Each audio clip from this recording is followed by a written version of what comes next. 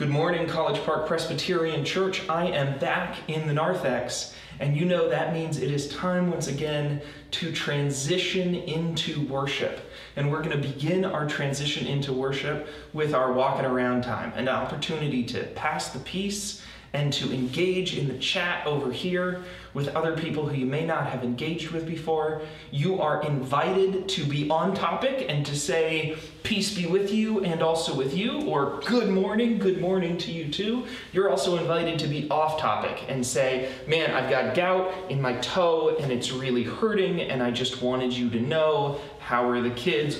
All of that is on limits. Uh, so I hope you'll enjoy our walking around time and the slides we have prepared for that time for you.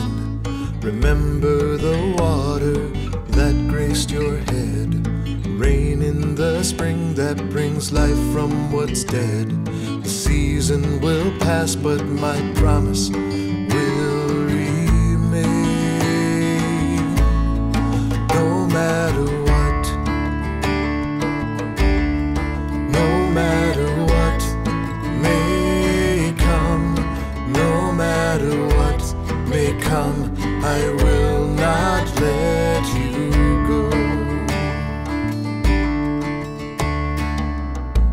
Child bitter with rage, blind and broken under this weight, seek me first and you will find righteousness for your heart, peace for your mind. I came to find you in me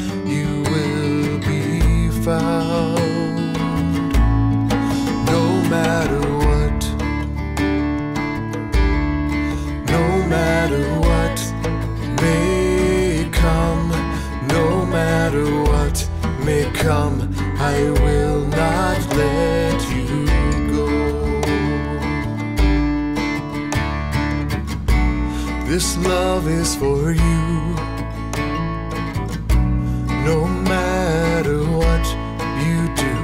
It does not depend on who you are or where you have been, on what you've said or what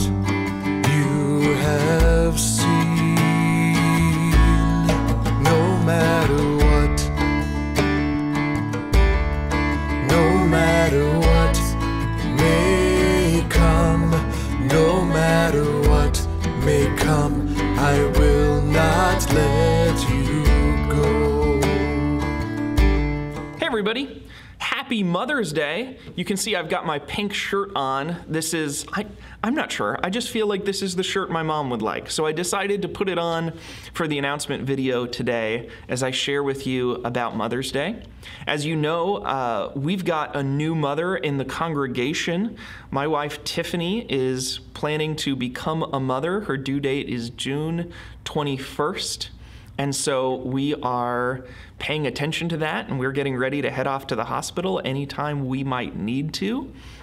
There are some changes to the way uh, the Sunday service is functioning. As a result, you might see more outfit changes like this. Um, you might even see some clips being used for elements of worship that you have seen before.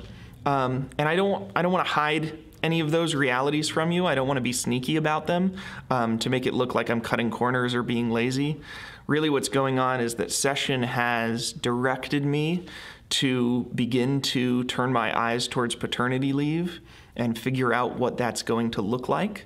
And one of the ways we hope that can look is to be prepared for worship services in advance so that we have some things we can just hit play on because right now the whole worship service is really falling on my shoulders, and it would be tough to get a supply preacher in to carry those things. Um, so that's the goal. We might not reach it, um, but that's why you might see things, and I don't want you to be distracted by them if you do that uh, seem like strange decisions in the worship service. And hopefully, um, you won't notice, and that will be even better. But again, not trying to hide anything, so just want to be upfront about that. Speaking of uh, Baby Gaffney, I want to thank you all for your participation in the shower last week. Um, if you were able to make it to our Zoomy fellowship uh, for the shower, uh, that's wonderful. I'm so glad you were there and we were able to share that experience virtually. If you weren't able to make it, I did talk on the phone with a couple of people who tried to get into the shower and had technical difficulties one way or another, weren't able to get in. Um, first of all, don't feel bad on our account. Um, it would have been lovely to have you there, but it's okay that you weren't there. We love that you tried, and we feel that uh, that ap- appreciation and love coming from you that uh, that you gave it an attempt. And second, if you figure out some of those technical difficulties and you're able to join us this week at Zoomy Fellowship, we would love to have you then. So I just want to invite you to, to come on back and try it again. In this age when we are trying things and we're doing virtual ministry that none of us have a bunch of experience in, it's just a matter of trying and failing. And so, for as many of you that tried something new and succeeded, and as many of you as tried something new and failed, my message is the same, which is good job. When we do something new, when we do something we're not familiar with as a way to show love to one another and give glory to God, that is our perfume that is poured out on Jesus' feet. Um, we are just giving what we have as best as we can. And that's a beautiful thing. That's something we can really be proud of, no matter what the results of it are. So thank you, thank you for taking risks and for trying things and for working in this new environment. This is. This is the goal. This is what we are learning in terms of ministry for the next century and beyond. Now, on that subject, I do want to uh, report that the Apostles' Creed class last week, if any of you attempted to join us for the Apostles' Creed class, you won't have been able to. And I, I sent an email to the people I expected to be at the class, but if I missed some of you, um, that were trying to be there. Uh, you might have thought it was your fault that you didn't succeed at getting into that class. Um, it's not your fault. The class didn't happen. Um, I, I don't have a good explanation as to why. Basically, in order for the class to work, I've got to get my cell phone and my laptop and a camera all to talk and play nice together, and they weren't having it last week. Um, I just couldn't get them all to work. And so um, we, we weren't able to have a class. Uh, hopefully, we will have a class again this coming week and we'll be able to have that working. We do have a group coming in from King Communications that should be helping us with some of our uh, wireless work. Um, but uh, just we're, we're just doing the best we can. The message to you is the same as the message to me. So thank you for your grace and your patience, and know that nothing that happened that week is um, your fault. It's just the the way it worked out. And I'm sorry that we announced a class that didn't get to take place. Again, hopefully, uh, hopefully this coming week we'll be on track. But it is a great time to give feedback. And so if you would email me at pastor at collegeparkpress.org um, what you like about the class, what you don't like, what we might change, if we look at pivoting to Zoom, whether or not you would be interested in that. I'm really interested to hear about those things because, uh, you know, this class is something that we just made up. Uh, we've tried to do with what we had available, keeping the brief statement of faith uh, class going and so we're ready to pivot and we're ready to make changes to figure out what serves people and what blesses people and what especially will bring more people and, and serve the, the people who are not a part of this gathered community. So, with that spirit and with those announcements, let's begin our worship.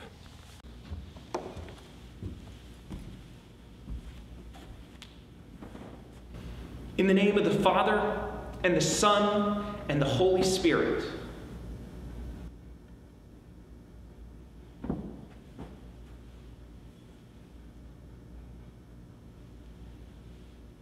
Amen.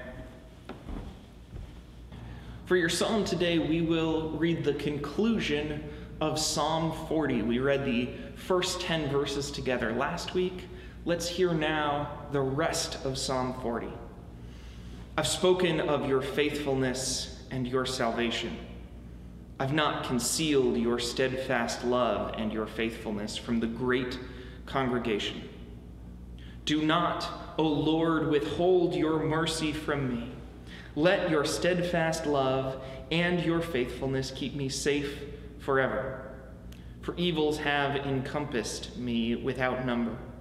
My iniquities have overtaken me until I cannot see. They are more than the hairs of my head, and my heart fails me. But be pleased, O Lord, to deliver me. O Lord, make haste to help me. Let all those be put to shame and confusion who seek to snatch away my life. Let those be turned back and brought to dishonor who desire my hurt. Let those be appalled because of their shame who say to me, Aha! Aha! But may all who seek you rejoice and be glad in you. May those who love your salvation say continually, Great is the Lord. As for me, I am poor and needy, but the Lord takes thought of me. You are my help and my deliverer. Do not delay, O oh my God. Amen.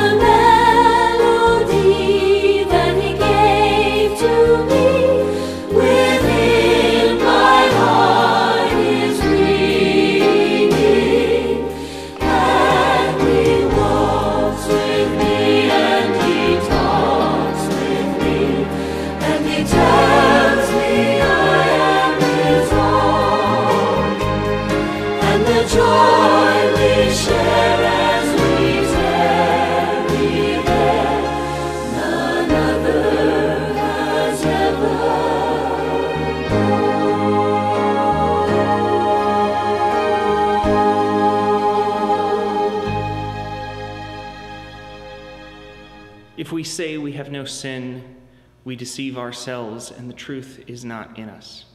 But if we confess our sins, God is faithful and just to forgive our sins and cleanse us of all unrighteousness.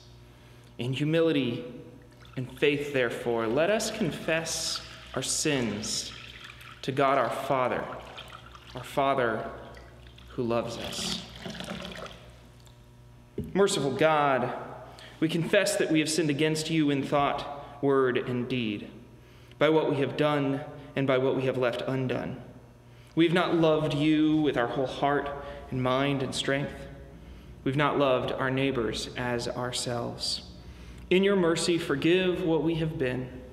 Help us amend what we are and direct what we shall be, that we may delight in your will and walk in your ways to the glory of your holy name.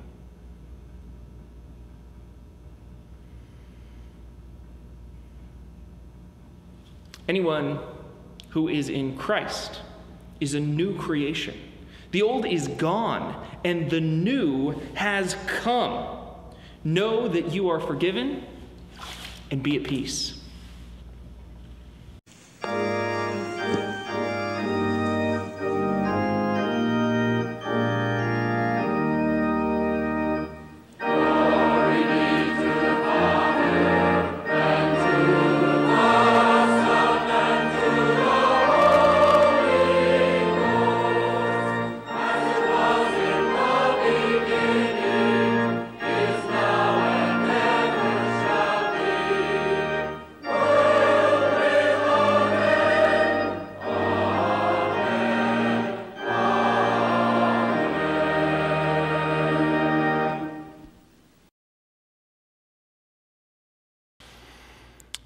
On this Mother's Day, I want to offer a special prayer for all the moms. You know the moms. They're the ones that are not able to pay full attention right now because they're worried that the flame behind me is way too close to those flowers. It's okay. It, it didn't start a fire. Remember, this is taped, this already happened. Moms, may God continue to bless you continue to give you so many good and distinctive gifts that make you unlike any other set of beings on this planet. Thank you, Lord, for moms.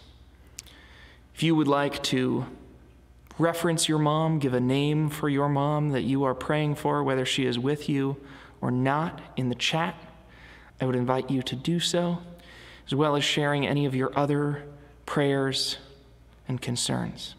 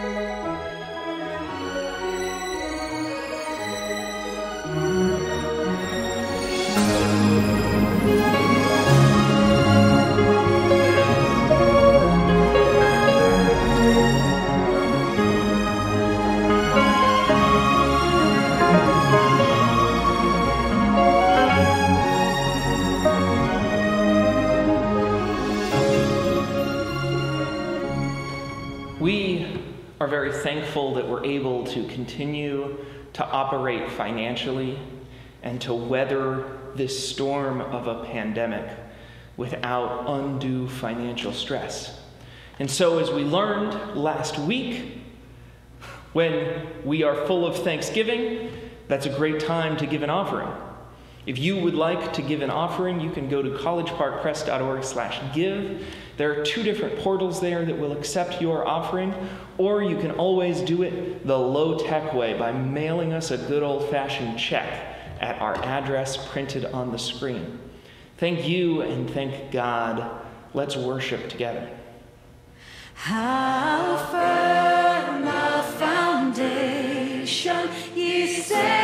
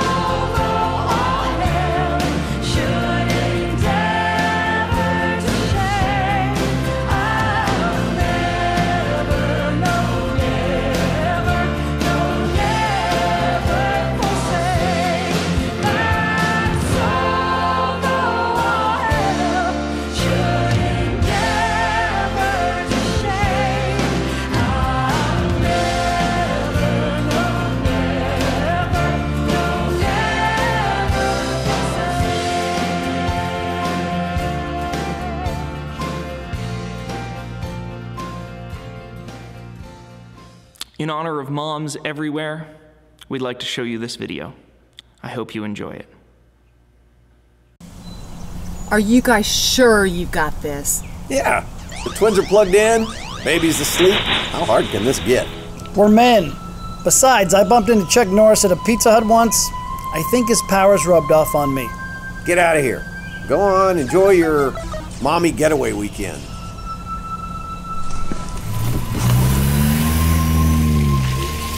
Oh, this weekend was a bad idea. You remember what happened last time we watched the kids? I'm not a pinata!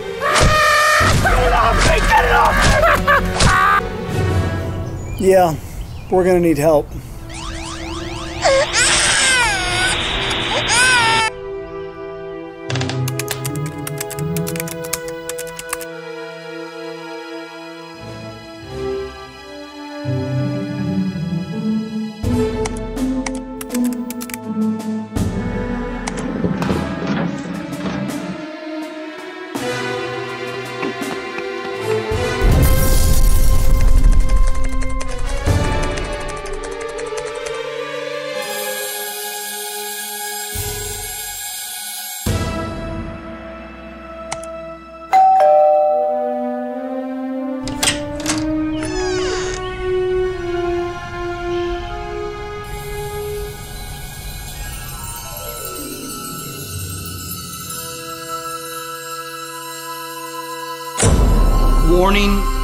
Use of this product may alter your perception of reality.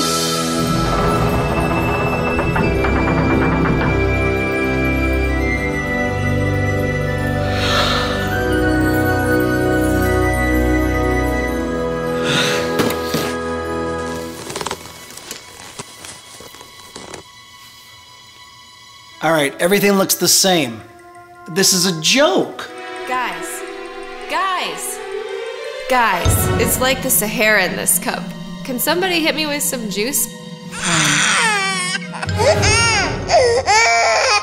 And listen, pulp, no pulp, doesn't make a difference to me. You're the ones dealing with the diaper. Mom goggles. it's beautiful.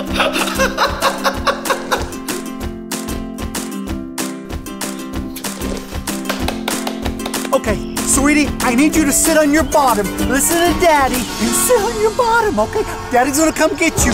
Don't move. Don't, don't, don't dance. Just sit on your bottom. Daddy's gonna come get you.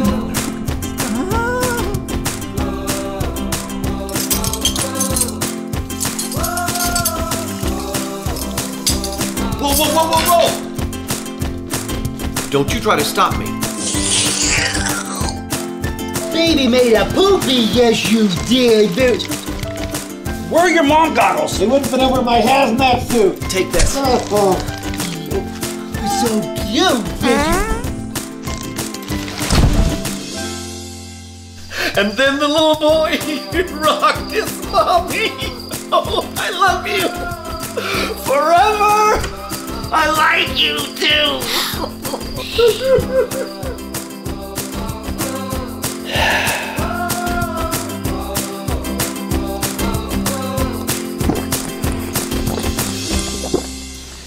I don't know how they do it.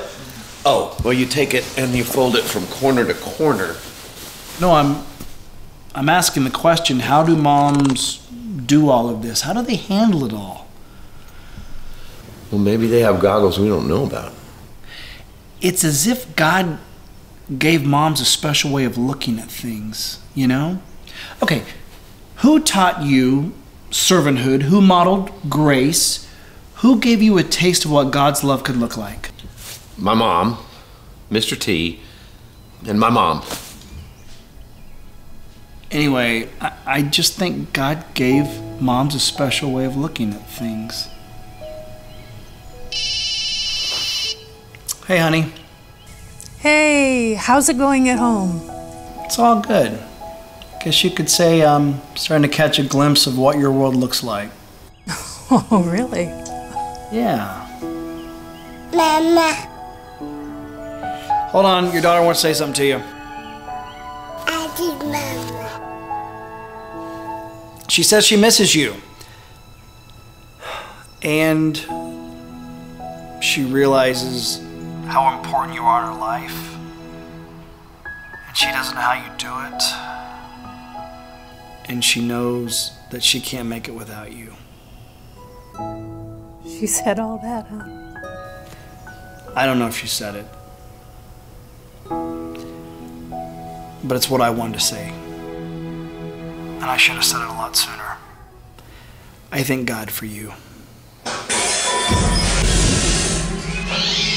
The twins. Um, it, it was nothing. Um, we, we have to go, okay? Um, lo- love you, mommy.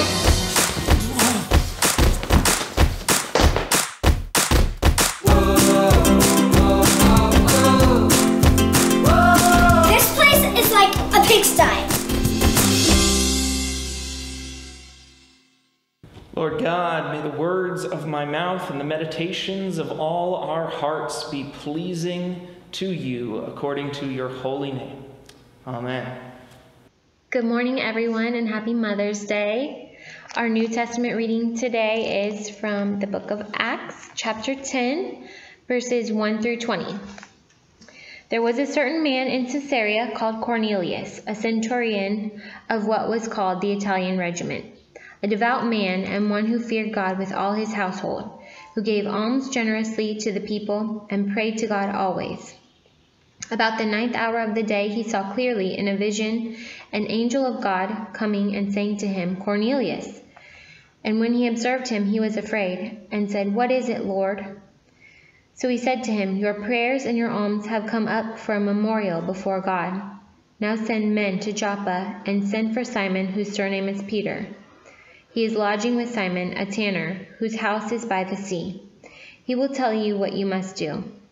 And when the angel spoke to him, had departed, Cornelius called two of his household servants and a devout soldier from among those who waited on him continually. So when he had explained all these things to them, he sent them to Joppa. The next day, as they went on their journey and drew near to the city, Peter went up on the housetop to pray, about the sixth hour. Then he became very hungry and wanted to eat. But while they made ready, he fell into a trance, and saw heaven open and an object like a great sheet bound at the four corners, descending to him and let down from the earth.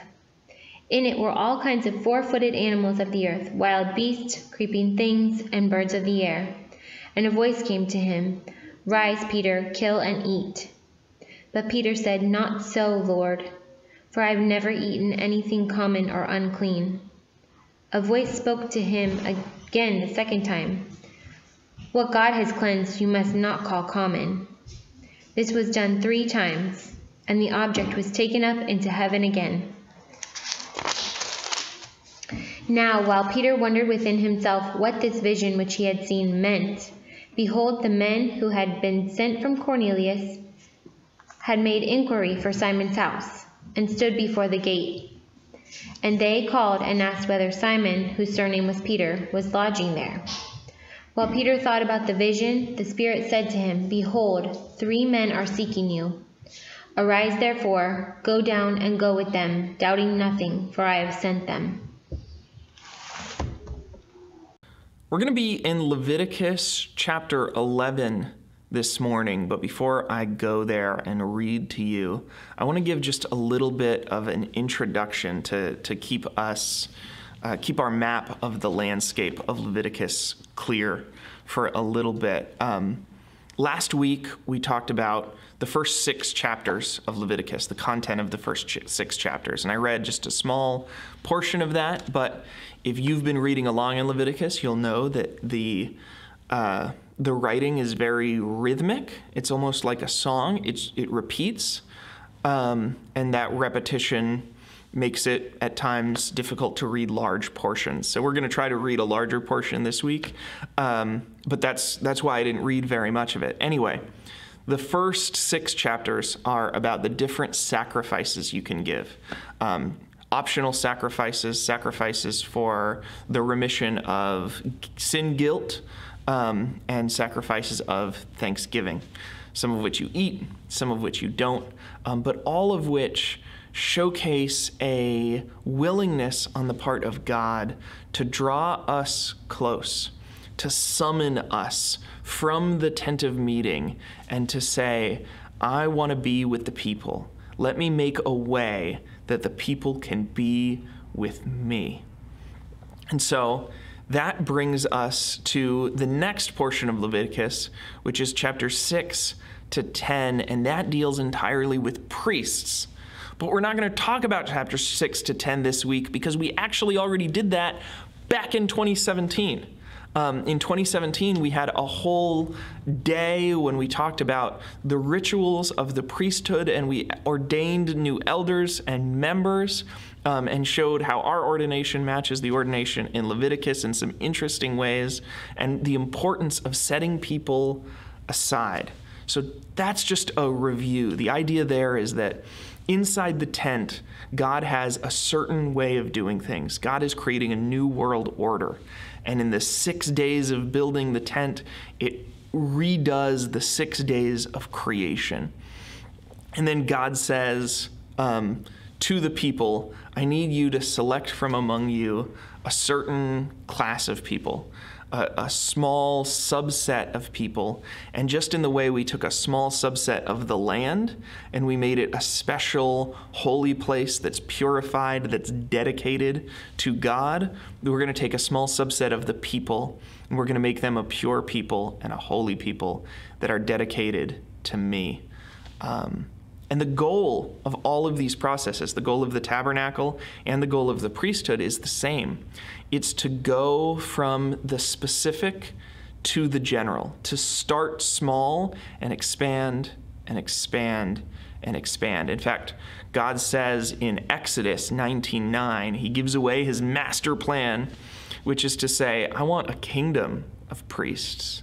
I want to make you a holy nation so that everyone in this kingdom will be uh, a priest. And indeed, we, we learn in the New Testament that the goal is to have a priesthood of all believers. So, what the priests do is a foretaste of what we are going to do from the priests to Israel to everyone, to be people who can be intercessors, who can stand in the gap in between a holy God and an unholy world and exist in both at the same time. That's the, the idea of a priest. Now, it's Mother's Day, and I don't normally uh, preach on Mother's Day in specific or really any national holidays, but it's so interesting that whenever stuff is going on in our lives, it colors our understanding of the text and our reading.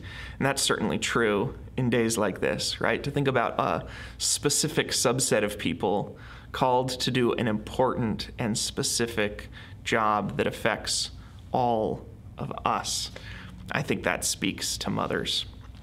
Well, we go from there and we open up chapter 11. Now, I'm going to try to read chapter 11 like this, which is like a little awkward for me, but I think it'll be the best.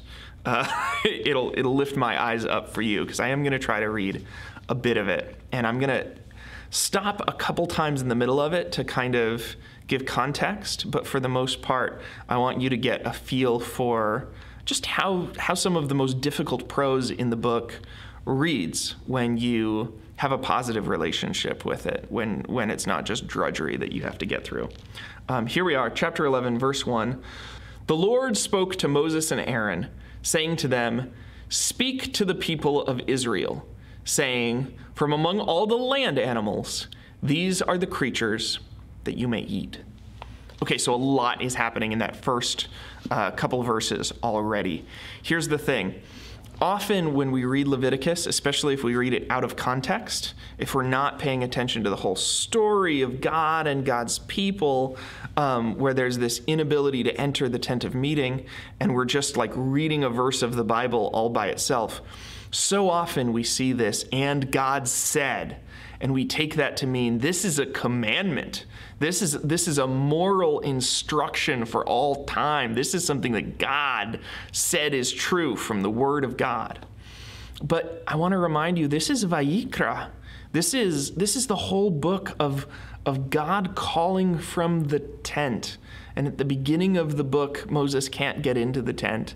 And at the end of the book, God is speaking to Moses in the tent. And so for God to be calling, and that's why I use that word Vayikra. That's what the Jewish people call this book, the God continued to call book. And this is how God continues to call us, how God continues to lure us, how God asks us to take another step and another step closer to Him. And so that's the vision. It's not we got this clear word from God and we wrote it down exactly as God said it, but rather, I mean, when God speaks to me, I'm not able to understand God saying things that I don't have any context for right? If, if God tried to give me instructions for like 29th century medicine, I, I wouldn't know what, what God was talking about. But when God speaks to me, God speaks about experiences I've had, Bible teachings I've received, passages I've read, um, truth and, and, and context that connect with my life and then pulls those contexts together in ways that I haven't pulled together before. And that's that's how God is summoning, how God is speaking, how God is luring from the tent in this passage. And I want you to see also that he speaks to Moses and Aaron, Mo- Moses, who is Moses, the prophet, and Aaron, who is the chief priest. And he says to them, All right, from that small group, I want you to go to the whole tribe, the whole community. Speak to all the people of Israel and speak to them about what? About what they eat. Speak to them about the stuff they put in their bodies, because that's important. That matters to their spiritual health, and it matters to their ability to be priests for other nations. Just as you, Aaron, and your sons are going to be priests to the people, the people are going to be priests to the neighbors, to other nations. And so, here's what he says about land animals. Any animal that has divided hooves and is cleft footed and chews the cud, such you may eat. But among those that chew the cud or have divided hooves, you shall not eat the following the camel. For even though it chews the cud, it does not have a divided hoof. It is unclean for you. The rock badger, for even though it chews the cud, it does not have divided hoofs. It is unclean for you. The hare, for even though it chews the cud, it does not have divided hooves. It is unclean for you. And the pig, for even though it has divided hooves and is cleft footed, it doesn't chew the cud, and so it is unclean for you. Of their flesh you shall not eat, and of their carcasses you shall not touch. They are unclean for you. All right, so we're introduced to this concept of uncleanliness. And this is going to be a concept that takes place throughout the whole section of this book, up until chapter 16. We're talking about what's clean and what's unclean. And the first things that are clean are animals that fit into their group well.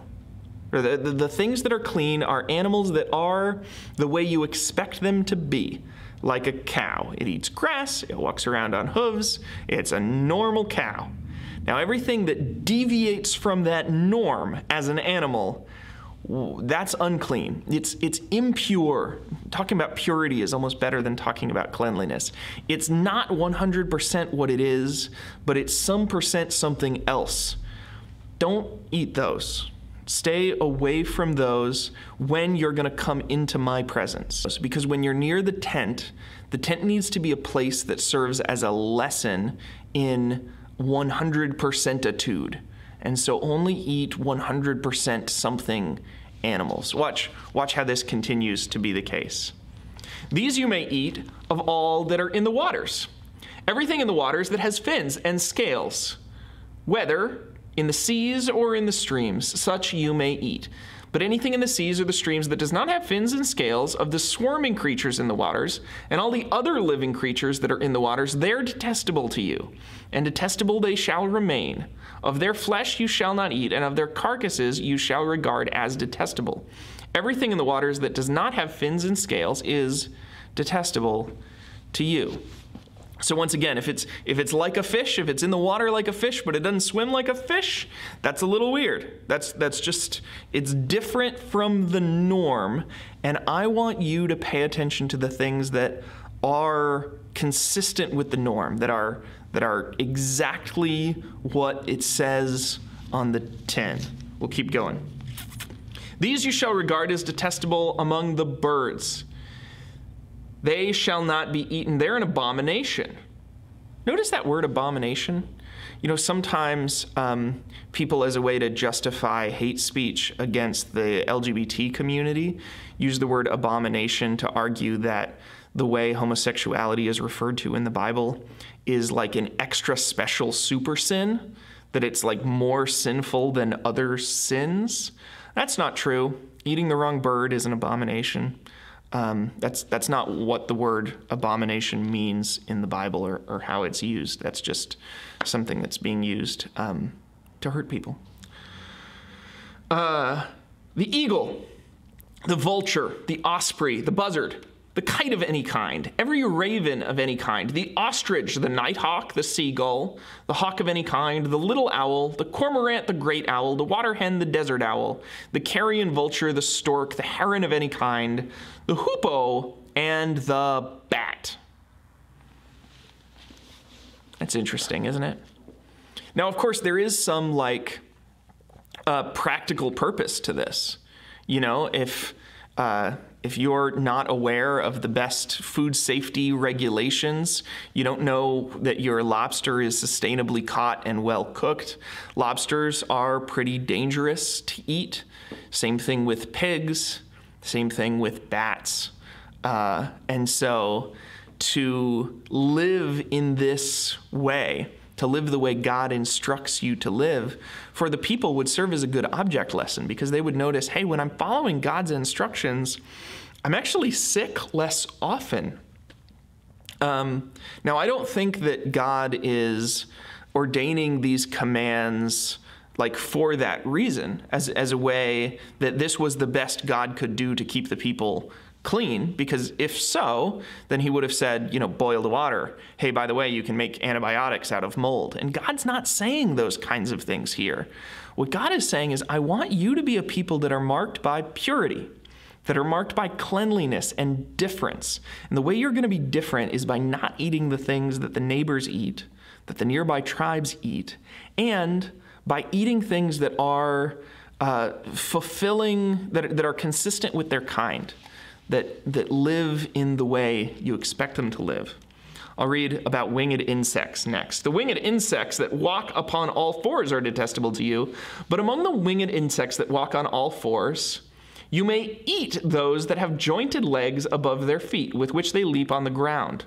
Of them you may eat the locust, according to its kind, the bald locust, according to its kind, the cricket, according to its kind, the grasshopper, according to its kind.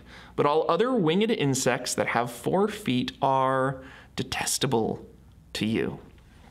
So you can eat the grasshoppers and the locusts, but not the other bugs. It's interesting. We often talk about like stuff you can't eat. Oh, you can't eat pigs. That's the main kosher thing. But like, ah, you could eat locusts. You want to eat some locusts? Anyway, now this is where the whole narrative for me just kind of turns on its head. Watch this.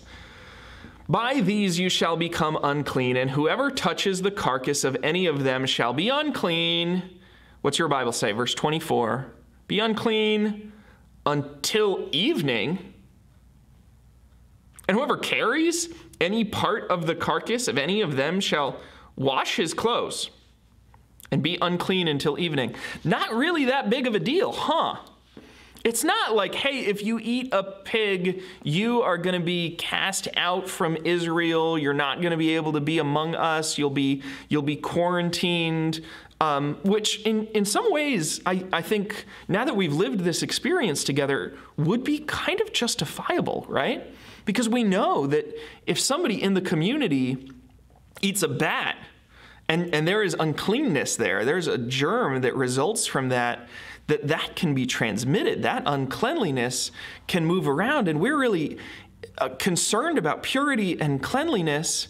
And so, certainly, oh, you have to put them to death or something, right? This is Leviticus. Isn't it going to be law and and judgment and no? They need to wash. They need to take a bath, and they need to wait for, for the bath to take effect. Again, like we don't have soap in the same way here. So, so wash thoroughly. Wash specifically in living water. that is running water. Don't just use, you know, stagnant mosquito water, but but running water and and after they're washed, the next day they'll be fine. See, cleanliness and uncleanliness in the Levitical sense, this part of the Bible, isn't about morality and immorality.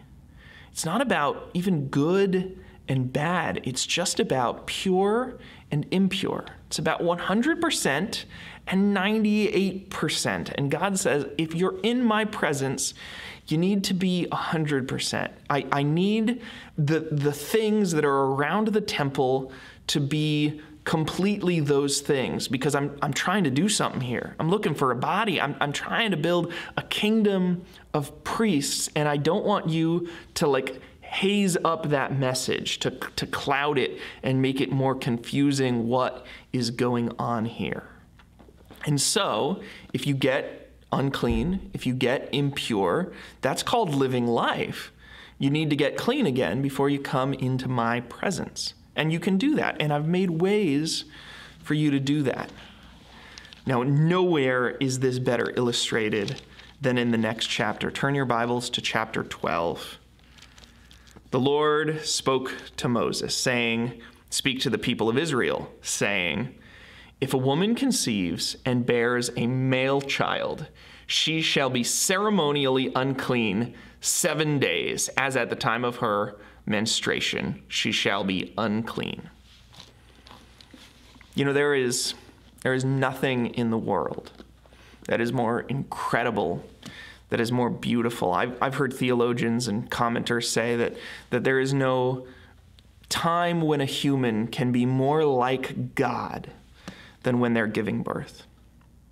You know, that's, that's the closest we get to creating life to bringing a new life into the world. And it happens through sacrifice, it happens through work, it happens through pain and commitment. Um, it's an incredible thing. It takes an incredible amount of strength, and it is an unmitigated good. It is good to bring new life into the world. It is how we as a human race stay alive. It's how every tribe and every nation continues to exist. Bringing new life is not immoral. Nobody would ever think it might be. But you know what it is? Messy. I mean, it just is, right? Like there, there is blood involved, and and discharges, and risk, danger. Um, it exists at the threshold, at the veil between life and death. It, it is an act that takes you to that place of life and death. And God is saying, listen, this tent of meeting this tabernacle, these sacrifices, I'm trying to teach an illiterate group of people something about how to live, about what life that's truly life looks like, and what death that's truly death looks like. And I'm using the death and the blood of animals to do it. And so don't bring your own blood into that situation. Don't bring your own experiences with life and death right up to me. And for that matter, after you've given birth, please, please, please take a break.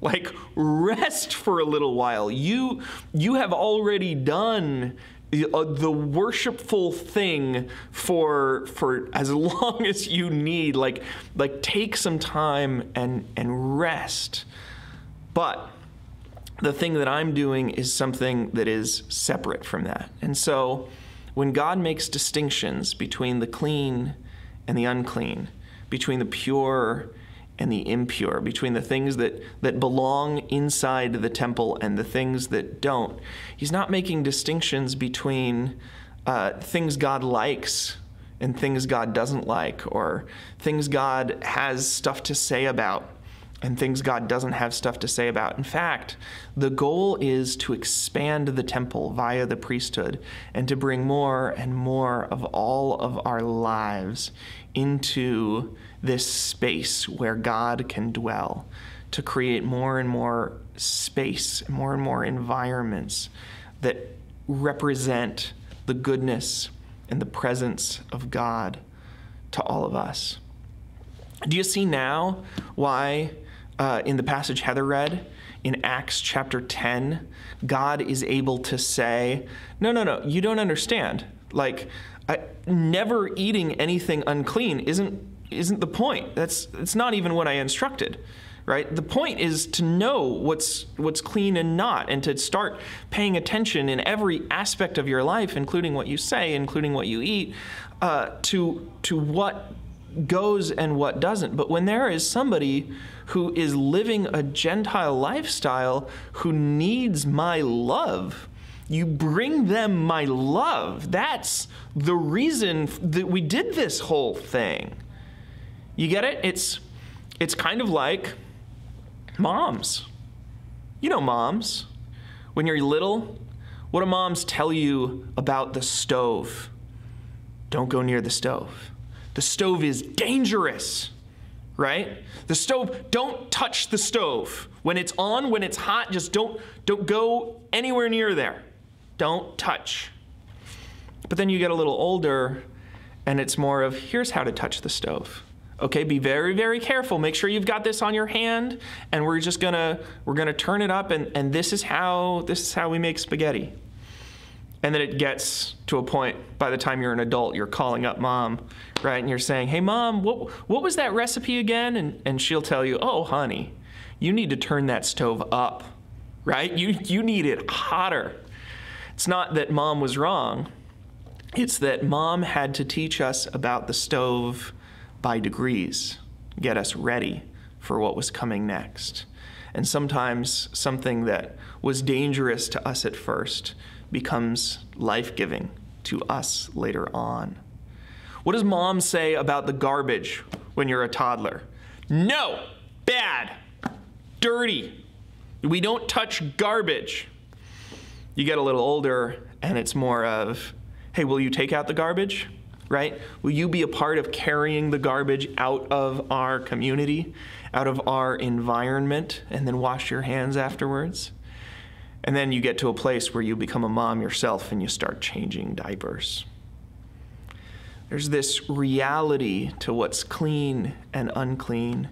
And there's a truth that we need to be able to distinguish and we need to be able to avoid.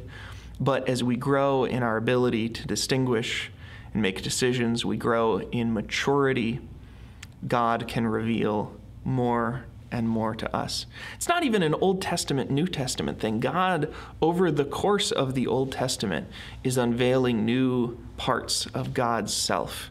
There are times when you know the, the staff and the tablets that are put in the ark start as a good thing and then we eventually we need to get rid of them because now they're a distraction right where the, the sacrificial system started as a way to be close but eventually the prophets are going to say they those sacrifices were never the point so some theologians try to make it out to be like oh there are these specific dispensations and you study the dispensations it's not so much that it's just that as we grow in relationship the things that were good to us. You know, if you're an alcoholic, right?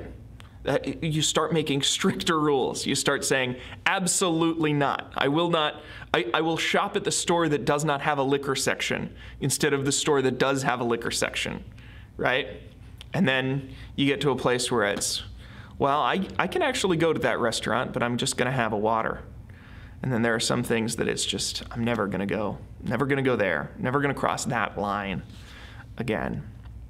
So that's the vision that I want to leave you with, and I hope that it will help to continue to recuperate and rehabilitate your relationship with this wonderful text, this text that the Jewish people call Vayikra, God's summoning, text of Leviticus, to bring you the image of God as a mother who instructs her people, who teaches us day by day about the distinctions that we need to make because we are loved and because we are children who are going to grow up into full maturity in God. That's the message here.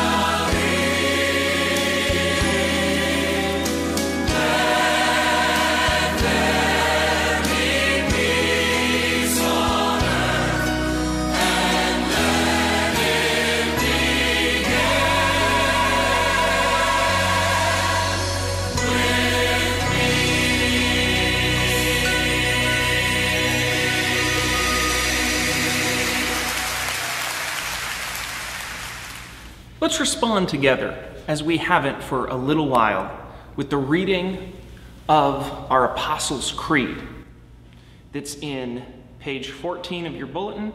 We will read, or your bulletin, your Presbyterian hymnal, we'll read the traditional version. It's also printed on your screen. I believe in God, the Father Almighty, maker of heaven and earth, and in Jesus Christ, his only Son, our Lord, who was conceived by the Holy Ghost, born of the Virgin Mary, suffered under Pontius Pilate, was crucified, dead, and buried. He descended into hell.